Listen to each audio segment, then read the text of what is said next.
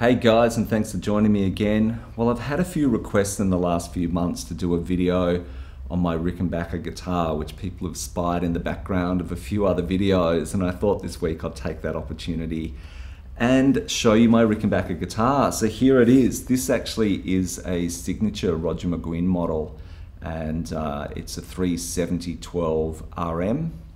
And uh, these were actually released in about 1989, and actually, this one I purchased new in Melbourne. And um, it's got quite a lot of sentimental value for me, actually, because it was my 21st birthday present from my parents. And um, fortunately, my father passed away last year, so there's a lot of sentimentality in this guitar. But in this video, I thought I'd tell you five things that I know about Roger McGuinn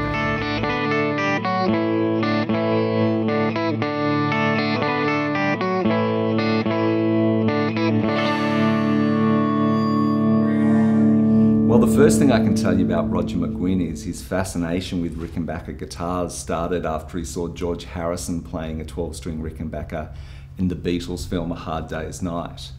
And he was pretty enamored with the look of the guitar and also the sound of it. So he went out trying to find the very same model that Harrison had, but that was a Fire-Glo with the pointy end cutaways, and he just couldn't find one. All he could find was a 360 in maple glow and that reminded him of a golden palomino horse, the colour of it, and he loved that.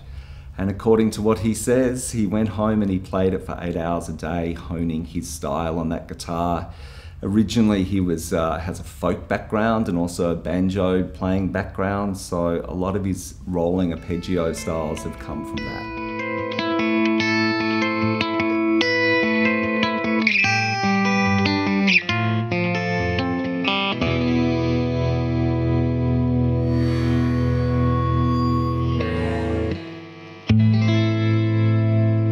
So one of the signature sounds of Roger McGuinn is a very heavily compressed sound.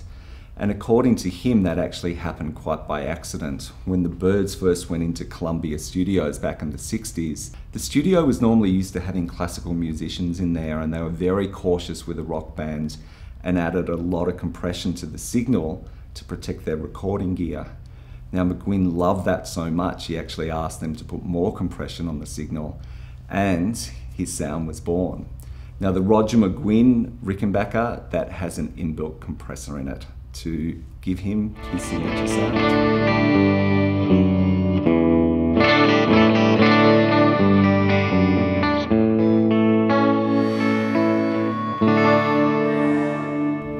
So one of the other signatures to the McGuinn sound is adding a Vox treble booster to the signal. And Paul Kantner from Jefferson Airplane was playing Rickenbackers at the same time and suggested to McGuinn that he actually use a Vox treble booster. And actually, that was an outboard piece of equipment, and McGuinn actually took it apart and actually installed it himself inside his 12 string Rickenbacker. So the use of compression and a treble booster gave him his signature sound. And of course, the Rickenbacker signature McGuinn guitar also has a treble booster as well as the compression.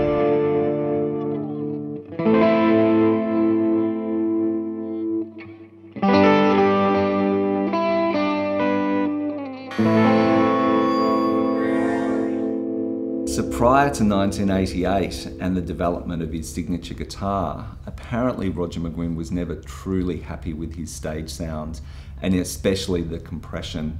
He never felt that it kind of replicated what he could do in the studio and Rickenbacker spent a lot of time developing the internal electronics on the guitar so it's active and again it's that compressor and treble booster which really gives you that signature McGuinn sound.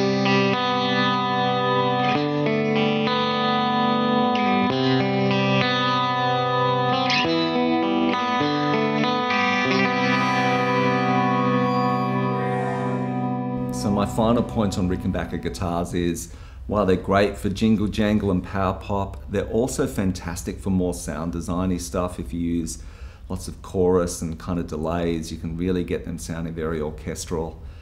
But recently too, I had Dean James, a Melbourne guitarist, in and he grabbed this guitar and actually played some funk on it. So I'm going to leave you with that. If you've owned a Rickenbacker, own a Rickenbacker and got some comments about them, please leave them in the comments section. I look forward to hearing them and I look forward to seeing you on another video really soon.